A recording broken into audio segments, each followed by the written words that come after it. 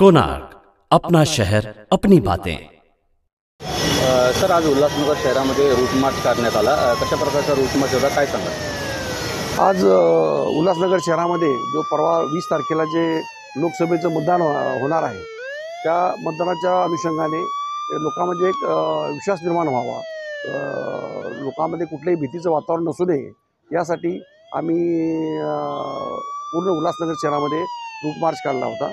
त्या रूट मार्चमध्ये साधारणतः आमच्याकडे येणारे एकशे सात होमगार्ड्स तर सेंट्रल इंडस्ट्रियल सेक्युरिटी फोर्सचे शंभर जवान पुरुषेचे जवान तसंच ते जे रिक्रूट्स आलेले आहेत त्या सर्वांनी तर दोनशे ते अडीचशे लोकांनी आम्ही पूर्ण शहरामध्ये रूट मार्च काढलेला आहे. की त्या रूट मार्चमधून आम्हाला एक दर्शवायचं आहे की लोकांना एक मतदान शांततेत पार पडावं कुठलाही अनुचित प्रकार घडू नये. आणि कुणी कुणी जर काही त्याच्यामध्ये अनुचित प्रकार घडण्याचा प्रयत्न केलाच. त्याच्यावर आम्ही सक्त कायदेशीर कारवाई करू.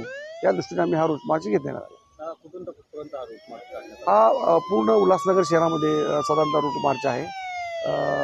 आता तो थाराशिव दरबारच्या परिसरामध्ये हा रूट मार्च आम्ही संपवत आहोत. शहरवासियांना तुम्ही मुक्तपणे आणि व्यवस्थित त्या गुप्तपणे आपलं मतदानाचा हक्क बजावावा.